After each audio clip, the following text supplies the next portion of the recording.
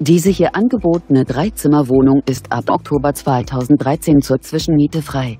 Die Wohnung befindet sich in Düsseldorf-Pempelfort. Das Objekt verfügt über einen Parkplatz. Das Objekt wird über eine Etagenheizung beheizt.